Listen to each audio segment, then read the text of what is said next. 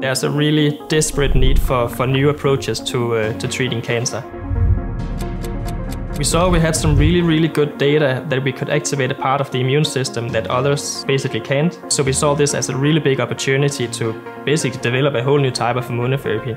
And this could actually potentially be deployed for a variety of cancers. We wanted to try something else and just basic research. Wanted to do something that's, so to say, closer to the patient.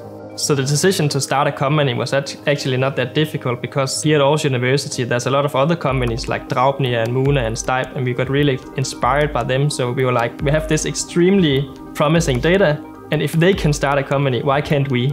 We just decided to jump straight into it and uh, start the company. As a first time founder, you're extremely ambitious because you believe so much in your technology and there's no, no limits basically.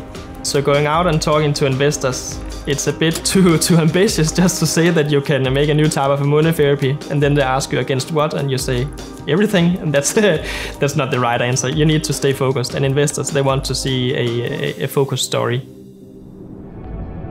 The BII really helped us in the in the sense that we framed the story the right way and then through the BII, we got exposed to a lot of investors, and the discussion with many investors also helped us frame the story and build the business.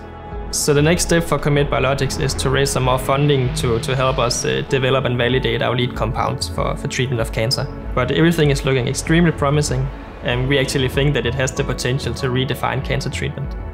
So I think the most important thing we have learned so far is that uh, as a team, you can achieve a lot, especially with the right people around you. And then the idea of making something that could potentially cure a lot of people for cancer is just extremely giving.